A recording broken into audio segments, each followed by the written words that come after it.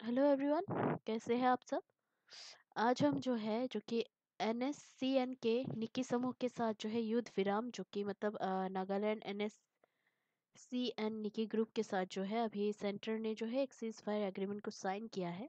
तो आज का ये वीडियो उसी के ऊपर है, जो कि आपके एग्ज़ाम पॉइंट ऑफ़ व्यू से बहुत ही इंपॉर्टेंट है।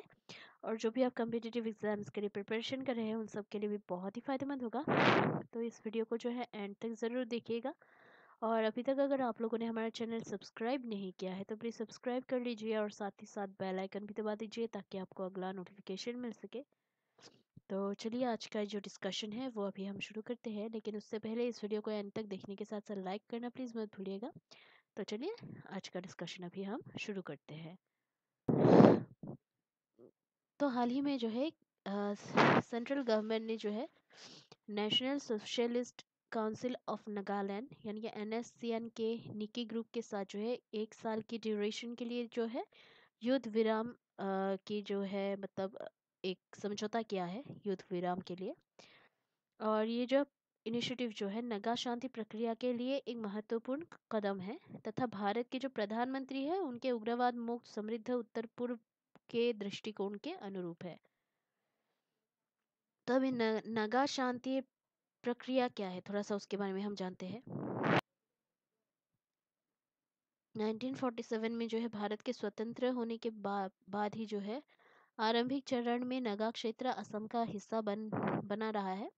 और 1957 में जो है नगा नेता और भारत सरकार के बीच जो है एक समझौते के बाद असम के नगा हिल्स क्षेत्र तथा उत्तर पूर्व में जो है त्यूएन संग फ्रंटियर डिवीज़न को जो है एक साथ भारत सरकार द्वारा प्रत्यक्ष रूप से प्रशासन की जो है एक इकाई के अंतर्गत लाया गया था। तो अभी नागालैंड ने जो है, नागालैंड ने साल 1963 में जो है राज्य का दर्जा हासिल किया। हालाँकि इसके बाद भी जो है विद्रोही गतिविधियों जारी मतलब ये जो गतिविधियाँ जो है वो जारी रही है। तो उसके बाद आता है उग्रवाद मुक्त, समृद्ध पूर्वोत्तर का दृष्टिकोण, यानी कि जो विजन जो है वो क्या है? तो ये माना जाता है कि सुरक्षा के दृष्टिकोण से जो है पूर्वोत्तर राज्य देश के लिए अत्यंत महत्वपूर्ण है। इसीलिए जो है इसका उद्देश्य 2022 तक पूर्वोत्तर में सभी प्रकार के विवादों को समाप्त करना तथा साल 2023 में जो है पूर्वोत्तर में शांति और विकास के एक नए युग की शुरुआत करना है। इसके तहत जो है सरकार जो है पूर्वोत्तर की गरिमा, संस्कृति, भाषा, साहित्य और संगीत को जो है समृद्ध कर रही है। हालिया सालों में जो है गवर्नमेंट ने पूर्वोत्तर भारत में जो है सैन्य संगठनों के साथ कई शांति समझौतों पर भी साइन किया है।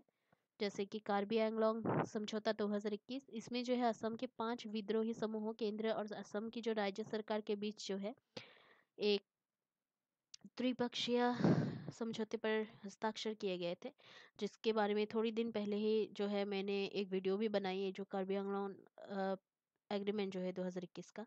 तो अगर आप लोग चाहते हैं तो उस वीडियो को भी आप लोग देख सकते हैं तो उसको देखना मत भूलिएगा। तो उसके बाद आता है ब्रू समझौता 2020 तो ब्रू समझौते के तहत जो है त्रिपुरा में सिक्स नाइन फाइव नाइन यानी कि six thousand nine hundred fifty nine Bru परिवारों के लिए जो है वित्तीय पैकेज सहित स्थायी बंदोबस्त पर जो है भारत सरकार त्रिपुरा और मिजोरम के बीच ब्रू प्रवासियों के प्रतिनिधियों के साथ जो है सहमति व्यक्त की गई है। उसके बाद आता है बोडो शांति समझौता 2020 तो 2020 में जो है भारत सरकार, असम सरकार और बोडो समूह के प्रतिनिधियों के प्रतिनिधियों ने जो है एक समझौते पर साइन किए, जिसमें कि असम में Bodoland territorial season region, sorry तो बोडोलैंड टेरिटोरियल रीजन बीटीआर को जो है, ज़्यादा स्वायत्तता प्रदान की है। N S C N N K N S C N R और N S C N K Khango N S C N I M जैसे नगा विद्रोह में जो है, शामिल विभिन्न सैन्य संगठनों के साथ ये शांति समझौता है। तो अभी पूर्वोत्तर भारत में जो है, कुछ संघर्ष जैसे कि मतलब पहला जो है,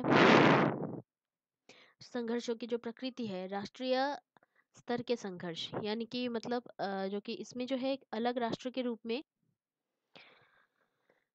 रूप में जो है एक विशिष्ट मातृभूमि की अवधारणा को शामिल करना मतलब शामिल है। देन उसके बाद आता है नागालैंड। तो नगा विद्रोह स्वतंत्रता की मांग के साथ शुरू हुआ है। देन उसके बाद आता है जातीय संघर्ष। इसमें प्रभावशाली जनजातीय समूह के राजनीतिक और सांस्कृतिक प्रभाविता के खिलाफ जो है संख्यात्मक रूप से छोटे और क्रम प्रभावशाली जो जनजातीय समूहों के दावे को जो है शामिल करना शामिल है। देन उसके बाद आता है त्रिपुरा तो साल उन्नीस यानी कि 1947 के बाद से जो है राज्य की जनसांख्यिकीय रूपरेखा में काफ़ी परिवर्तन हुआ है। ये परिवर्तन मुख्य रूप से तब हुआ जब नवगठित पूर्वी पाकिस्तान से बड़े पैमाने पर जो है लोगों का पलायन हुआ था, यानी कि भागकर लोग आए थे और इसने जो है त्रिपुरा को आदिवासी बहुमत वाले क्षेत्र से बंगाली भाषी लोगों के बहुमत वाले क्षेत्र में बदल दिया। देन उसके बाद आता है उप क्षेत्रीय संघर्ष, यानी कि उप क्षेत्रीय संघर्ष में जो है अभी ऐसे आंदोलनों को शामिल किया जाता है जो कि उप क्षेत्रीय आकांक्षाओं को मान्यता देने को प्रेरित करते हैं। और प्रायः ही जो है राज्य सरकारों या यहाँ तक कि स्वायत्त परिषदों के साथ जो है सीधे संघर्ष में व्याप्त हो जाते हैं। जैसे कि मिजोरम तो हिंसक विद्रोह के अपने इतिहास और उनके बाद उसके बाद जो शांति की और लौटने वाला ये जो राज्य जो है, अन्य सभी हिंसा प्रभावित राज्यों के लिए एक उदाहरण है। और उसके बाद जो है, अन्य कारण। अन्य कारण यह है, प्रायोजित आतंकवाद सीमा पार से प्रवासियों की निरंतर आवाजाही के परिणाम स्वरूप उत्पन्न संघर्ष, महत्वपूर्ण आर्थिक संसाधनों पर नियंत्रण, उसको जो है और मज़बूत करने के उद्देश्य के परिणामतः आपराधिक स्थितियाँ बन गई है।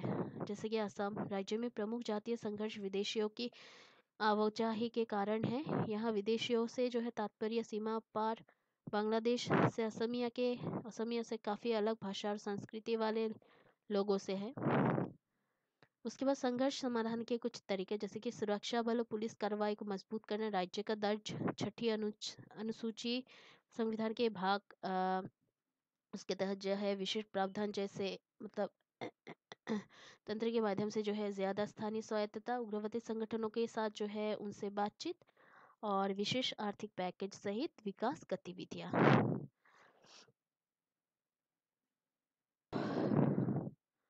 तो आज के लिए इस वीडियो में इतना ही है। कल हम फिर मिलते हैं एक नए टॉपिक के एनालिसिस के वीडियो के साथ। तब तक के लिए जो है हमारा चैनल देखते रहेगा लाइक शेयर सब्सक्राइब करना प्लीज़ मत भूलिएगा। कोई अगर सुझाव हो तो कमेंट करना प्लीज़ मत भूलिएगा, क्योंकि आपका जो सपोर्ट है वो हमें बहुत ही मोटिवेट करता है हार्ड वर्क करने के लिए और ऐसे वीडियोस को बनाने के लिए। सो आशा करती हूँ हमारे इस सपो इस मतलब कोशिश को, जो ये परिश्रम जो है उसको सपोर्ट आप लोग ज़रूर करेंगे और ऐसे ही हमारे वीडियोस और चैनल को लाइक शेयर सब्सक्राइब करते रहेंगे। So please keep supporting us and Keep watching our videos, like, share, and subscribe. Take care. Jai Hind.